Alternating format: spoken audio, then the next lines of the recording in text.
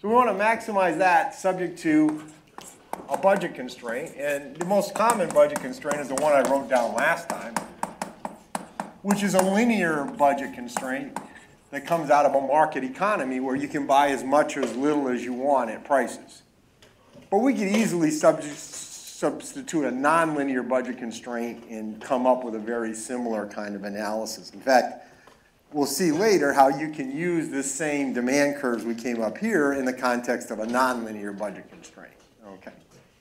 Anyway, so that's going to be our problem. We set up the Lagrangian for this, which is a simple technique for constrained optimization.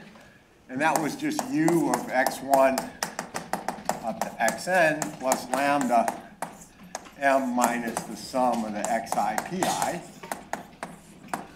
And we said the critical or first order conditions for this are partial u partial x1 equals lambda p1 down to partial u partial xn equals lambda pn and the budget constraint itself, xi pi i equals 1 to n. And we just assumed you exhausted your budget, which is a pretty weak assumption, right?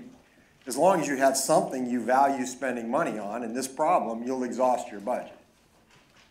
Even if you got tired of n minus one of the goods, as long as there's one good that you want more of, you're going to exhaust your budget. You'll just spend whatever's left on that one good. So pretty weak conditions where you exhaust your budget. So you can you see often in textbooks people talk about the case where people are satiated or whatever. I'm not going to bother with that.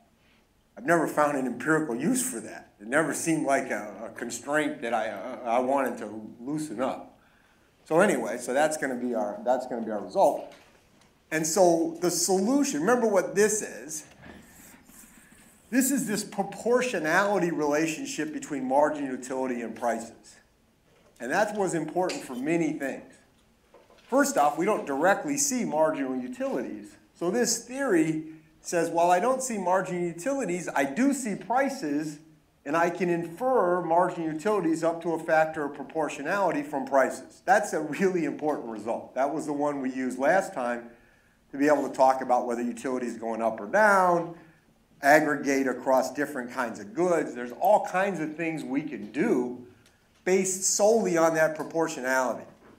Because the idea that this person is maximizing tells us that in equilibrium, those marginal utilities of those different goods, which I can't see directly, right? I can't look at his eyes and say, this is your marginal utility. I can't measure that. But I know if he's optimizing, it's proportional to prices, and I can go in the grocery store and see the prices on the shelf. So I can see these and therefore infer something about those. That's really a key part of it. Now, these proportionality restriction, which comes down to, like we said before, some notion of marginal value equals marginal cost, right? That's what this is.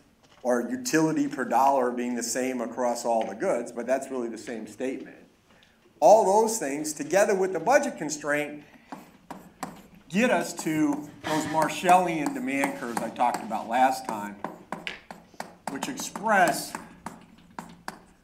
his equilibrium choices as a function of prices and income.